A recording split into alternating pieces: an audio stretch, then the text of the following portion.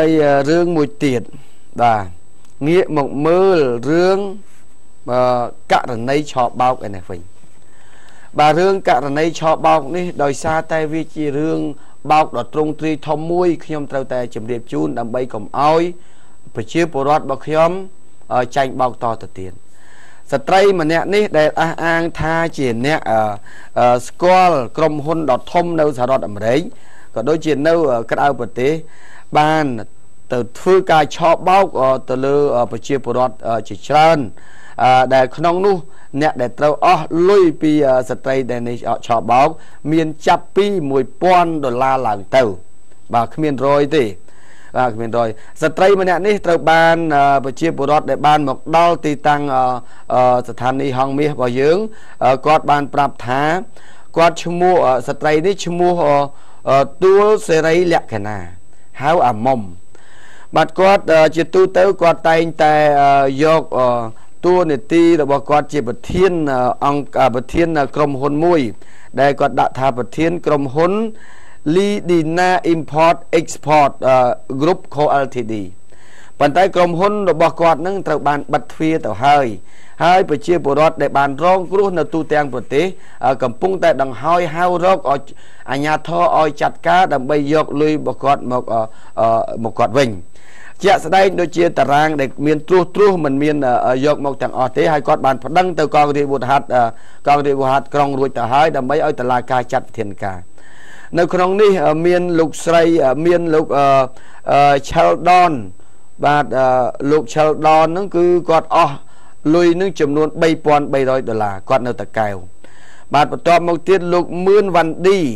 ភេទស្រីគាត់អស់លុយ1250ដុល្លារនៅខាងកំពង់ចាមបាទលោកផូណាអែនណាអនបាទផូណៃអនភេទស្រីគាត់អស់លុយ2500 550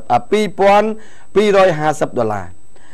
បាទហើយលោកហេងផារ៉ា គាត់អស់លុយ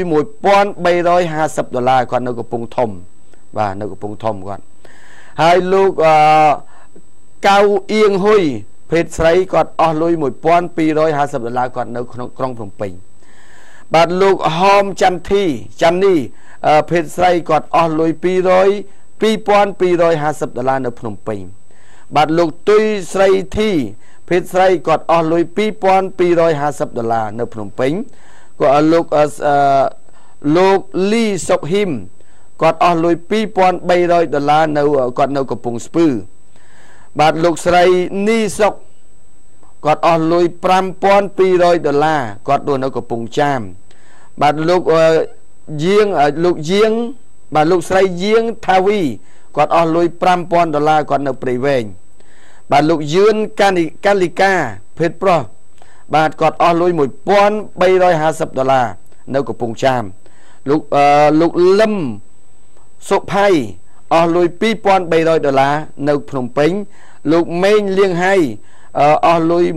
1350ដុល្លារនៅកំពង់ចាមបាទនេះនៅមានច្រើនទៀតខ្ញុំគ្រាន់តែចង់ប្រាប់អ្នកអស់ត្រួសត្រាសតែប៉ុណ្ណឹងបាទពីព្រោះជាទូទៅគាត់តែងតែយក បោកប្រជាពលរដ្ឋតាមរបៀបអញ្ចេះទូទាំងជន គឺគាត់ថាអឺឲ្យគេទៅរស់នៅសហរដ្ឋអាមេរិកបាទឲ្យរស់នៅសហរដ្ឋអាមេរិករហូតដល់មកទល់នឹងពេលនេះអ្នកទាំងអស់នេះត្រូវបានលោកស្រីទួលសេរីលក្ខណានេះហៅអាមុំនេះបានយកទាំងប៉ាសពតយកទាំងវ៉ាលីយកទៅរក្សាទុកដោយគាត់ប្រាប់ថាពួកគេចិត្តបានចេញទៅសហរដ្ឋអាមេរិកទៅហើយបាទ ឥឡូវនេះពួកនឹងពួកគេប៉ាសពតក៏នៅដៃរបស់លោកស្រីហ្នឹងបាទវ៉ាលីដែលត្រូវចាក់ចេញទៅហ្នឹងក៏នៅដៃរបស់លោកស្រីហ្នឹងដែរប៉ុន្តែបើតាមដំណឹងមានបុគ្គលិករបស់ក្រុមហ៊ុនរបស់គាត់2នាក់ក៏បានមកដល់ស្ថានីយ៍ដែរដែលគាត់បានសុំធ្វើការបដិសេធថាលុយដែលគាត់ដែលលោកស្រីនេះទៅទទួលគឺគាត់មិនពាក់ព័ន្ធទេពួកលោកស្រីគឺជាអ្នកទៅយកលុយផ្ទាល់ដៃនៅឯតាមមូលដ្ឋានបាទ អញ្ចឹងបុគ្គលិកដែលនៅក្រុមហ៊ុនដែលអតីតនៅក្រុមហ៊ុនរបស់គាត់នេះគឺមកបានបដិសេធថាគាត់មិនបានពាក់ព័ន្ធជាមួយនឹងរឿងលុយទាំងអស់នេះទេហើយក៏បានប្រាប់ថាគ្មាននរណាម្នាក់បានទៅសហរដ្ឋអាមេរិកទេបាទ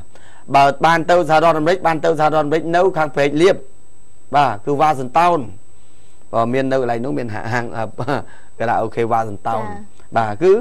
ទៅសហរដ្ឋអាមេរិកវ៉ាសន្តោននៅព្រៃលៀបហ្នឹងមានបាទ អញ្ចឹងដើម្បីកុំឲ្យចាញ់បោកគេតទៅទៀតសូមឲ្យប្រជាពលរដ្ឋរបស់យើងនៅទូទាំងប្រទេសត្រូវពិចារណាឲ្យបានវែងឆ្ងាយថាតើការចេញទៅទៅក្រៅប្រទេសតើជាការងាយអត់ទេ បាទមិនមែនសហរដ្ឋអាមេរិកទេទៅប្រទេសគេងាយងាយនោះទេ បាទហើយទៅរកការងារងាយស្រួលនោះទេពួកគាត់ពេលខ្លះគាត់ថាទៅសហរដ្ឋអាមេរិកហ្នឹងគឺគាត់មានក្រុមហ៊ុនរបស់មួយលក់ថ្នាំពេទ្យក្នុងប្រាក់ខែក្នុងមួយខែ3000ដុល្លារ4000ដុល្លារ ហើយប្រជាពលរដ្ឋរបស់យើងចេះក៏ឆាប់ជឿម្លេះបាទ3000 4000ដុល្លារនៅប្រទេសគេឥឡូវយើងជប់អាចគិតឲ្យរឿងប្រាក់ខែទៅទីនោះគិតឲ្យរឿងចេញទៅសិនថាតើពេលដែលចេញទៅក្រៅប្រទេសវាមានការលំបាកយ៉ាងម៉េចបាទដូចជាអ្នកចាញ់បោកគេតាម ការបោកប្រាស់ត្រូវរង្វាន់តាមបើកតាមវិញតាមអីចឹងទៅបាទ អាហ្នឹងគួរស្វែងយល់ទាំងអស់គ្នាជៀសវាងកុំអោយការឆោបោកនេះធ្វើឲ្យប្រជាពលរដ្ឋគ្រោះថ្នាក់តទៅទៀតបាទជាក់ស្ដែងដូចជាបងស្រីម្នាក់គាត់គាត់នៅខាងគៀននៅខាងគៀនស្វាយនេះរហូតដល់គាត់ថាជាសាច់ឈាមរបស់អ្នកស្រីនឹងទៀតគាត់ថាដោយសារជាសាច់ឈាមនឹងហើយបានជាគាត់ទុកចិត្តតែអត់ដឹងថាសាច់ឈាមខ្លួនឯងបោកគាត់អស់ប្រាក់5000ដុល្លារសហរដ្ឋអាមេរិក លក់ដីលក់ធ្លីបន្ទល់ពេលនេះគាត់ចងការគេឥឡូវនេះគាត់វាន់កករហូតដល់ប្តីលែងទៀតបាទដោយសារតែ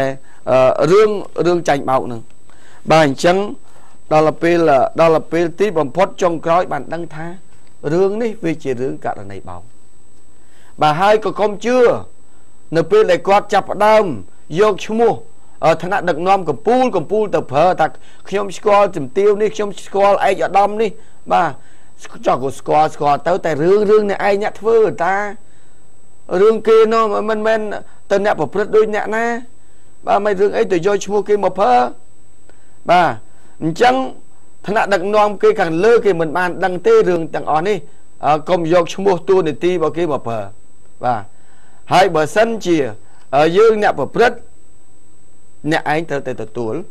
បាទ តែបើសិនតែថាមានខ្នងពិតប្រកបអ្នកនៅខណៈបដិវត្តពេលដែលគេខាត់ខ្លួនឲ្យតាមផ្លូវច្បាប់អ្នកឯងឆ្លើយបំភ្លឺសារភាពយ៉ាងម៉េចអានឹងឆ្លើយដាក់គ្នាជាប់ដូចសម្លកពឹសអានឹងជារឿងមួយផ្សេងអានឹងរឿងផ្លូវច្បាប់ប៉ុន្តែឥឡូវយើងនិយាយអំពីទស្សនវិជ្ជាជាក់ស្ដែងដែលពីករណីឆោបបោបាទនេះដោយសារតែអ្នកមកមានទឹកមានទឹកភ្នែកទឹកសបោមកដល់ឋាននេះខ្ញុំស្រែកយំអូរួចហើយរហូតដល់ថា មានអាចាញ់បោកគេដល់ហើយតើឲ្យមានតែទៅគម្រាមគេទៀត ហ៊ានតែអ្នកឯងប្តឹងហ៊ានតែអ្នកឯងរករឿងខ្ញុំនឹងចាត់ការនេះឯងហីបោកគេឲ្យគម្រាមទៀតខ្ញុំក៏ប្រាប់ថា មើលបងប្អូនប្រជាពលរដ្ឋទាំងអស់គ្នាបុគ្គលនឹងជាអ្នកបោកគេទៅហើយបាទហើយយើងជាអ្នករងគ្រោះហើយនៅបន្តខ្លាយទៀតមើលបាទខ្លាយដើម្បីអីខ្ញុំថាបើថាបន្តខ្លាយទៀតកុំមកដល់ស្ថានីយ៍ខ្ញុំឲ្យខ្ញុំផ្សាយគេយកលុយអស់រាប់ពាន់ហើយហើយនៅខ្លាចគេមកគម្រាមទៀតនេះ បាទហើយទៅចុះថាមិនខ្លាចមិនបើគេយកឈ្មោះអ្នកធំអាឥឡូវមានអ្នកធំនឹងមកប្រាប់ថាកុំអោយរករឿងគាត់នឹងអត់ទេហើយមានអ្នកធំមកប្រាប់ថាអេលុយនឹងខ្ញុំយកកុំរករឿងគេបាទបើសិនជាមកមកប្រាប់អញ្ចឹងសូមប្រាប់ឈ្មោះទៅយើងផ្សាយឈ្មោះឲ្យចំបាទពីព្រោះថ្នាក់ដឹកនាំគាត់លើគាត់អត់ត្រូវការឲ្យគេយកឈ្មោះទៅប្រើជាប្រយោជន៍បុគ្គលផ្ទាល់ខ្លួនឲ្យគាត់ខូចឈ្មោះឯណា បាទអញ្ចឹងខ្ញុំអត់ប្រាប់ថាព្រោះមានមាននៃគាត់យកឈ្មោះលោកជំទាវអាយដាមទៅប្រើប៉ុន្តែខ្ញុំទៅប្រើឈ្មោះលោកជំទាវទៅអីប្រើឈ្មោះអាយដាមទៅអីគេអត់ដឹងប៉ុណ្ណាយករូបថតមកសន្លឹកទៅថតជាមួយគេតែណែណែណែមើលរូបថតយករូបថតទៅបង្ហាញគេមិនខ្ញុំថាអត់ទេខ្ញុំស្គាល់ប៉ុន្តែគាត់ខ្ញុំអត់ទៅឲ្យពាក់ព័ន្ធជាមួយនឹងលោកជំទាវឯកឧត្តមគេយើងខ្លួនឯងទៅអឺយកស្បែកខ្លាទៅពាក់ខ្លួនឯងតាមពិតខ្លាគេនៅឯនោះខ្លានៅឯព្រៃនោះហ្នឹង បាទតែយើងបែកពាក់តែស្បែកហ្នឹងបាទហ្នឹងយើងនិយាយគ្នាឲ្យត្រង់អញ្ចឹងអត់មានខ្លាចបោកខ្ញុំត្រូវតែនិយាយប្រាប់រឿងបោកជប់សុំកុំឲ្យប្រជាពលរដ្ឋចាញ់បោកតទៀត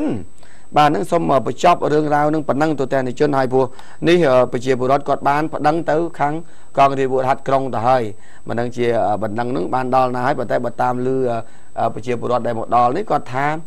មានគេចេញនៃការកោះហៅគាត់ហើយប៉ុន្តែអត់ឃើញនឹងជាទៅណាបាទចេញនៃការកោះមួយលើកជាពីរលើកអត់អត់ចូលអានឹងមានចេញនៃការចាំបាទអានឹងមានប៉ុណ្ណឹង បាទសូមបញ្ចប់រឿងរ៉ាវនឹងប៉ុណ្ណឹងដោយសារតែមានប្រជាពលរដ្ឋគាត់ទឹកភ្នែកទឹកសបោមកច្រើនមកនិយាយអំពីករណីបោកនឹងហើយឯកសារអីអីអើយច្រើនណាស់បាទឥឡូវនេះយើងក៏លេចទៅមើលរឿងមួយទៀតបាទរឿងមួយនេះគឺរឿងសារខ្លីទេព្រោះមិញរឿងពីររឿងនេះគឺវែងហ៎បាទប្រជាពលរដ្ឋតាមពិតទៅ មានអ្នករត់តាក់ស៊ីក៏ដូចជាទេសចរដែលទៅលេងនៅតំបន់ទេសចរ អឺចុងខ្មាសបាទចុងខ្មាសនៅក្រុងសៀមរាបខេត្តសៀមរាបគាត់បានបញ្ជូនសារមកថាសូមឲ្យខាងក្រសួងទេសចរចាប់អារម្មណ៍អំពីអ្នករត់ទូកដឹកទេសចរទៅកំសាន្តនៅចុងខ្មាសផងពីព្រោះឥឡូវនេះភ្ញៀវទេសចរចាប់ដើមត្អូញត្អែវាអាចធ្វើឲ្យប៉ះពាល់នៅដំណើរការនាំភ្ញៀវដើរកំសាន្តនៅក្នុងប្រទេសរបស់យើង បាទថាអ្នកទូកនឹងច្រើនតែដឹកក្រុមអ្នកទេសចរនឹងចូលទៅកន្លែងសុំទានហើយអ្នកសុំទានមកឡើងលើទូកតំបូងតំបូងបាទដែលធ្វើឲ្យអ្នកភ្ញៀវទេសចរគេត្អូញត្អែហើយថាហេតុអីបានជាអ្នកទូកនឹងដឹកពួកខ្ញុំមកដើរទស្សនាបែរជាមកឲ្យអ្នកសុំទានមកឡើងលើទូកប្រងព្រាតដែលអាចពេលខ្លះបាត់បង់ទ្រព្យសម្បត្តិរបស់គាត់ហើយពេលខ្លះទៀតទៅដឹកទៅឲ្យគាត់ចូលទៅដើម្បីឲ្យ ចេញជួយជាជំនួយមូលនិធិអីណាមួយគឺការចេញនោះដោយបង្ខំដោយ20ដុល្លារ50ដុល្លារឲ្យគេបង្ខំទិញរបស់របរបាទហើយគាត់ថាតាក់តងបញ្ហាមូលនិធិមនុស្សធម៌មិនមែនជាការបង្ខំទេប៉ុន្តែនៅពេលនោះគឺម្ចាស់ទូកបែរជាដឹកទៅធ្វើអញ្ចឹងហើយគាត់អាងបានកុំចុងពីខាងភៀកគីមកខាងទៀត បាទអញ្ចឹងទេ